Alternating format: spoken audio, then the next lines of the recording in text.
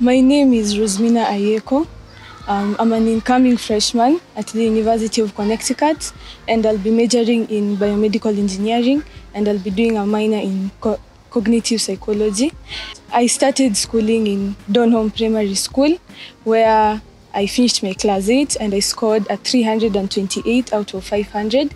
Transitioning from primary school to Mount Lavena wasn't an easy one, especially because the students I met here were highly performing students. So when you rank us according to a KCP, I was the last person. Gradually, I was able to grow from a C minus in Form 1 to a B minus in Form 2, a B plus in Form 3, and in Form 4 where I got my first A during my KCC result.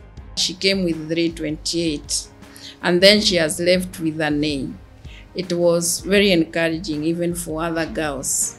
And she also came back after the resort to talk to the girls and explain to them if she has made it, they can also make it. So that is also an inspiration that Rosemina is not just a success by herself.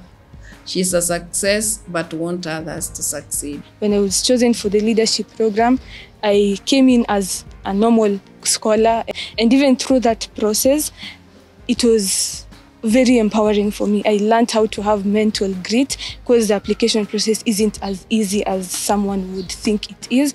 It requires a lot of stamina, it requires a lot of emotional strength because when the decisions start coming in, you'll get disappointed by some, you'll get elevated by some, but the ability to remain grounded and anchored with your stamina and having that mentality that it is possible and I did my best and I will get it. That is what enabled me to stay strong throughout the process. And I finally got an admission to my first choice university, which is the University of Connecticut. It is a blessing to have Equity Leaders Program.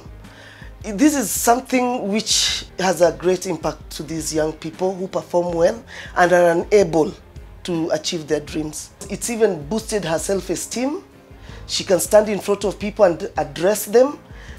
Ayieko Rosemina Adoyo, Mount Laverna Girls Secondary School, University of Connecticut.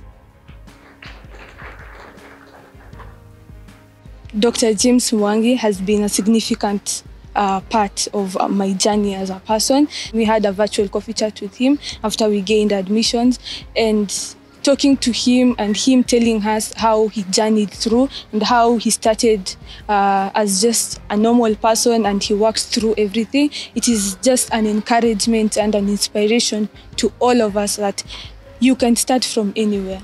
Getting the wisdom from him during the airlift ceremony encouraged me to have strength and faith because getting an admission is one thing, but transitioning to school is another thing. There's a whole lot of emotions concerned, and you know, uh, sometimes fear of whether you'll be able to fit into the community. What I hope to do is to venture into the STEM world as a woman and inspire other women that it is possible. Because when you look at the STEM uh, area, as, as far as your career is concerned, the niche of women is very low.